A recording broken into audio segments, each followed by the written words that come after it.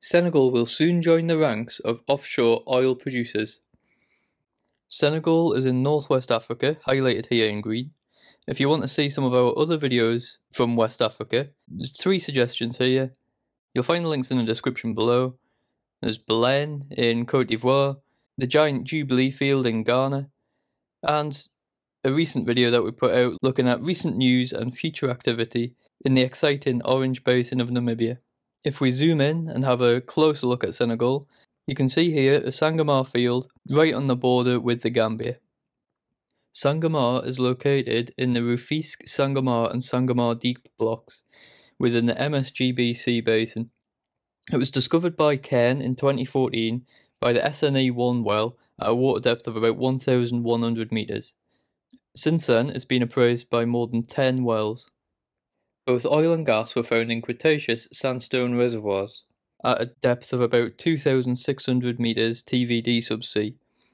The STOIIP is estimated to be up to about 3.6 billion barrels of oil equivalent, with recoverable reserves in the range of about 500 to 650 million BOEs. Sangomar is one of those rare examples where the post-drill results actually exceed the pre-drill expectations. Pre-drill, Sangomar was known as Lupa Lupa and was predicted to have 154 million barrels prospective resource. Sangomar is operated by Woodside Energy with 82% interest and Petrosen makes up the other 18%. The operatorship has passed from Hunt to Far to Cairn when the Discovery well is drilled on to ConocoPhillips, and then finally to Woodside when they acquired ConocoPhillips' 35% stake in 2016 in a deal worth 430 million US dollars. Four years later, Woodside acquired Cairn's 40% stake in a deal worth $400 million. Cairn Energy have since rebranded, of course, to Capricorn Energy. And in 2021, Woodside acquired Far Limited's 14% stake in a deal worth up to $180 million. So to date, they've already spent over a billion US dollars before even a single barrel of oil has been produced, and that is only to acquire their stake in the license, not for any development work to be carried out. Note there's a slight discrepancy in the interest Woodside has acquired, 89%, compared to their current stake, 82%. This is simply due to Petrosen also upping their interest slightly at some point. If we have a look at the depositional setting, we can see how Cairn thought the Sangomar reservoir was deposited. Here we can see this carbonate platform and the shelf edge running along here and the slope running down here. We can also see the source rock interval highlighted.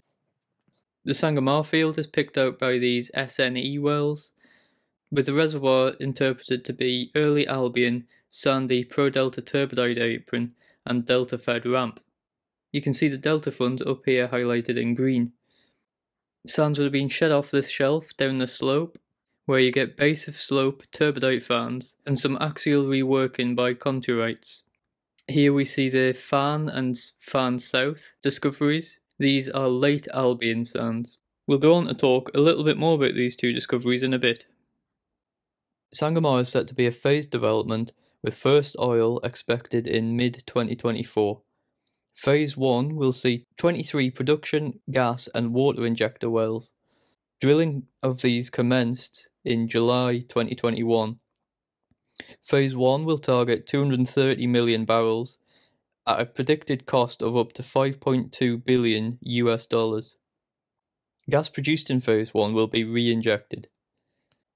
You can see on this schematic field layout below the FPSO at the top here and the 23 wells, each with their own subsea tree. Woodside will make a decision in 2025 on Phase 2 once more well data can be analysed. Phase 2 would plan to unlock an additional 250 million BOEs at a cost estimate of about 2.5 billion US dollars, with 33 additional wells, 16 producers, and 17 water injectors. Production will be through an FPSO, the FPSO Leopold Sedar Senghor, which has oil production capacity of 100,000 barrels of oil per day, gas production capacity of 130 million standard cubic feet a day, and storage capacity of 1.3 million barrels. It will be permanently moored at a water depth of approximately 780 metres by an external turret mooring system.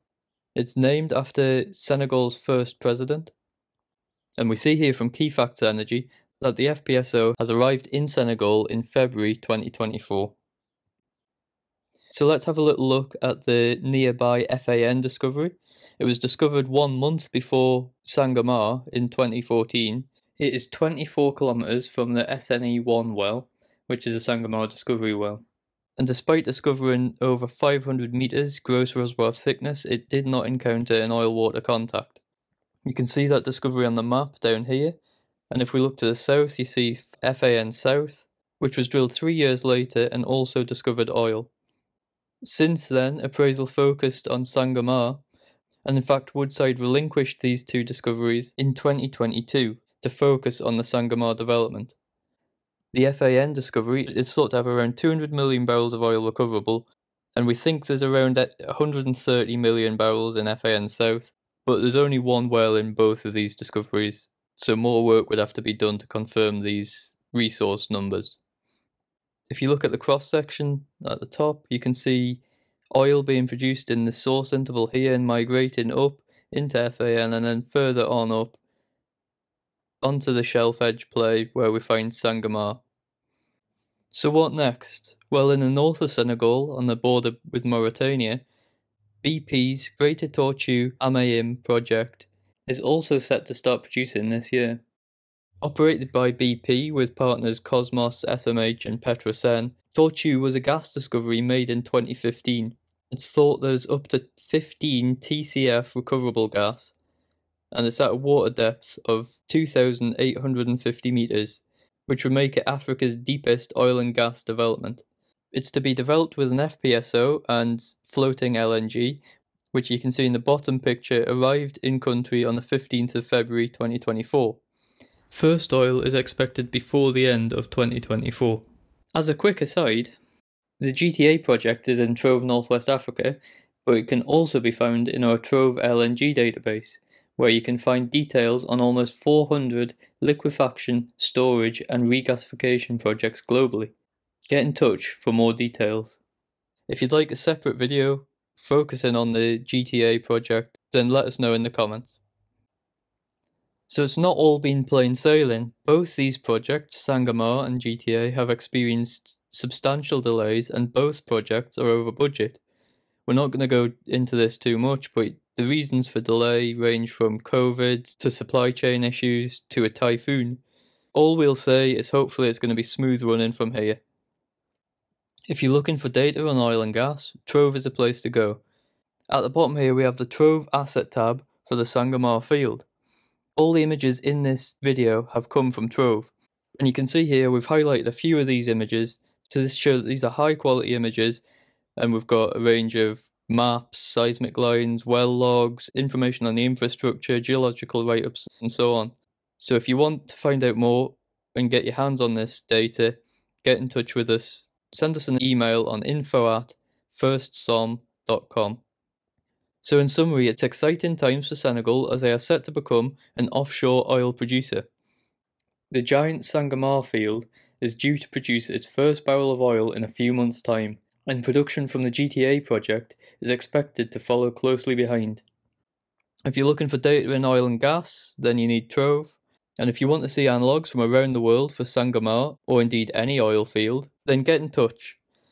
And finally, what other videos do you want to see us do in this region? Leave your comment below and hopefully we'll get round to it. Finally, if you haven't already seen, we're currently running a special introductory offer for Trove Namibia. This is a fantastic deal to get your hands on all of our data from one of the most exciting oil and gas exploration regions in the world. So if you're interested, get in touch. Thanks for watching, please like and subscribe, and we'll see you back here for the next video.